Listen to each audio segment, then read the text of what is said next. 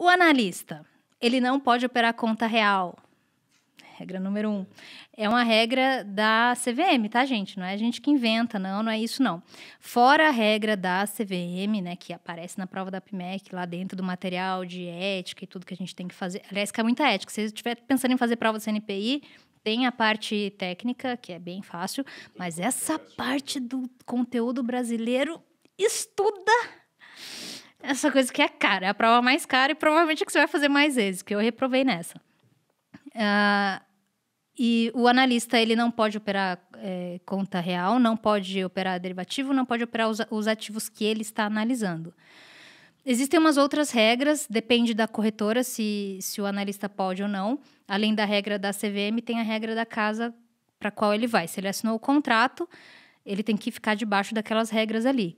Então, existem regra, as regras que assim, o analista ele pode investir? Pode. Só que, por exemplo, um grafista meio que não faz sentido. Por exemplo, eu fazer uma análise num gráfico diário e ver uma entrada hoje e ver a saída semana que vem, só que eu tenho obrigação de ficar pelo menos 90, 90 dias. dias com esse ativo. Então, a análise técnica não se aplica nesse caso. Então, gente, pode? Pode, mas posso aplicar o que eu sei? Não, não posso. Então, aí, no caso, teria que ir para a escola fundamentalista para deixar o tempo correr ele subir, descer e fazer o que tem que fazer. E aí, depois dos 90 dias, eu decidi se eu quero ficar com papel ou não. A gente tem que avisar a compliance, ó, oh, vou comprar tal ativo, tem uma janela de tempo lá que você pode negociar e tal.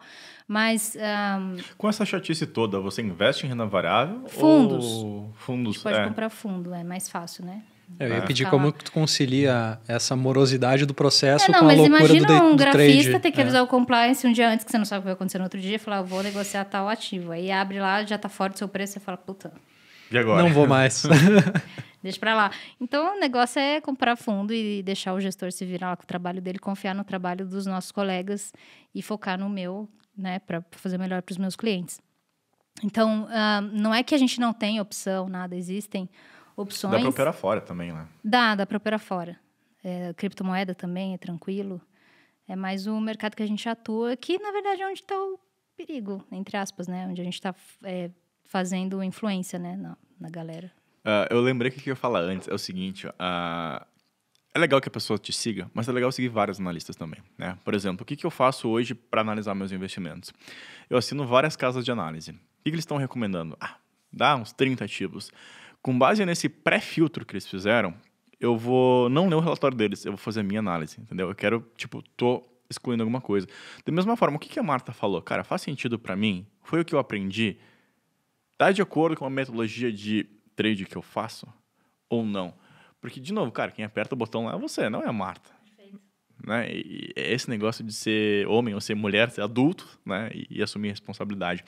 Agora, eu tenho uma pergunta legal para te fazer. Uh, teus pais eram fazendeiros, alguma coisa assim, Não. plantavam alguma coisa. Por que, que, tu gosta tanto de commodities? É porque dá as porradonas?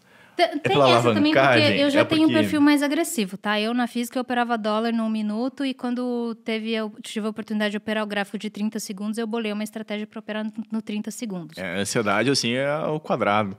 Cara, e fluxo também. Então, eu não sei se é ansiedade ou se é, sei lá, talvez seja um pouco de ansiedade. Eu não sei se isso alimenta mais ainda. Imagina a Marta esperando abrir o mercado, né? Que dólar continua rodando, né? E abre um gap na segunda-feira enorme. Você ia ficar doente, né? Então, pior que eu não tenho isso. Sério? Você não, não liga? Não tenho mais isso, não. Não, mas na época... Não, no começo, lá sim. No começo, gente, no começo, o café 4 horas da manhã que abria Nova York, eu acordava suando. Ah, sabia que tinha uma história assim. Suando. E não podia fazer nada aqui, porque aqui sobe nove horas, né? Eu não sei porque que eu acordava. Assim, é inútil você acordar quatro horas para ver o que está acontecendo, porque você não pode fazer nada. Não posso fazer nada. E ficava lá olhando, tinha dor de barriga às vezes, né? e, e, e, algumas vezes eu chamei compra, de, principalmente no carnaval, que a gente tem o feriado prolongado. E, e a maioria das de vezes que fecha, eu passei. Não tem o que você fazer. Né? Tá fechado. E a maioria das vezes eu passei com os meus clientes comprados em café. E aí chegava no, na abertura, normalmente virava 6, 7%, o limite de alta é 9%, né? Era quase limite de alta e era muito bonito, mas depois de, do Covid mudou tudo. Então, agora chega feriado, sexta-feira, eu evito abrir posição em commodity, porque é uma chuva que vem ou que não vem, no sábado e no domingo, segunda-feira você fala, meu pai amado, né? Não, não, tem, não tem o que fazer. E assim, 6, 7% no preço de uma commodity que custa 45 reais é uma coisa Numa commodity que custa 90 reais é outra coisa, né? Então, uh, machuca. Então, eu evito abrir posição na sexta-feira, pensando nos meus clientes, tá? Eu, assim, com commodity eu sou muito mais cuidadosa e por questão da liquidez, óbvio, não é que eu ligo foda-se para índice para dólar, mas é porque para índice para dólar a gente não sofre para sair. Você consegue sair no, né? Sim, aperta o botão tá... e foi embora. É, e vai. Não tem muito spread, mas em commodity, por exemplo, você brigar ali por, por preço, e, e nesses 10 anos, você viu a liquidez das commodities aumentar? Do milho. Do vi. milho só? O do café eu vi diminuir. O café era tipo mini dólar aqui. Não sei se você lembra. Uhum. Na época de 2009, 10, taxaram o IOF. Bacana, Brasil. O dinheiro gringo saiu daqui. E aí ficamos só nós aqui. Esquecidos. Só os brasileiros pobres sem os gringos.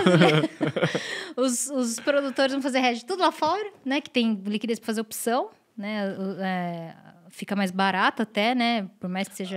É, é uma coisa tão burra quanto tributar as mega fortunas, né? Tipo, o dinheiro não, não, tem pátria. O dinheiro tem. tem como é que diz? É, cara, não tem endereço geográfico. Ficou mais caro aqui, vai embora. Vai para as Ilhas Cayman, vai para os Estados Unidos, é, vai para tipo qualquer lugar.